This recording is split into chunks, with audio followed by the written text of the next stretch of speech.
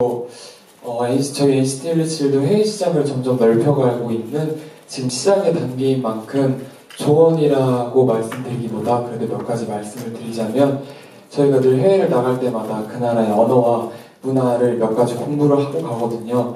그래서 저희 나라에서 해외로 뻗어나가기를 준비하고 있는 우리 기업들도 그 나라의 문화와 언어를 조금씩 공부한다면 더 좋지 않을까 싶고 무엇보다도 그 현지인들과 진심으로 소통하려는 마음이 있으면 무조건 될 거라고 믿습니다. 응원합니다.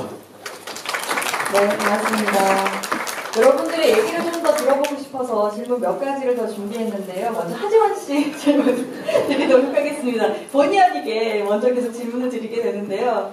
이번 행사에서 특별히 홍보대사로서 손수 만드신 아트 작품, 아트 콜라보를 홍보관에 전시한다고 하셨는데 어떤 작품인지 굉장히 궁금해하실 것 같아요. 사실은 제가 이번 art collabo에 참여하게 된 것이 저한테는 너무너무 영광이고요.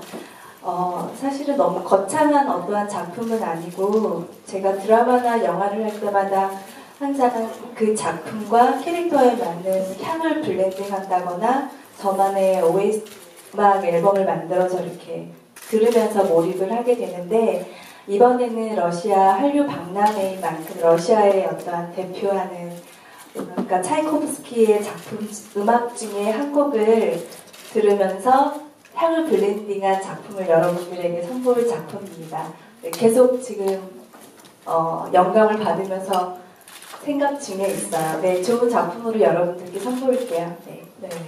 그러면 저희 아트 콜라보 기대해 보도록 하겠습니다. 또 다음 질문을 네, 인피니트 분들께 드려볼게요. 네. 아시겠지만 인피니트 여러분들이 올해 9년차 그룹입니다. 네, 1년 4개월 만에 컴백을 하셨죠. 팬들분들이 많이 기다리고 계실 것 같은데요. 인사 좀 부탁드리겠습니다. 네, 안녕하세요, 팬분들. 네, 어, 저희가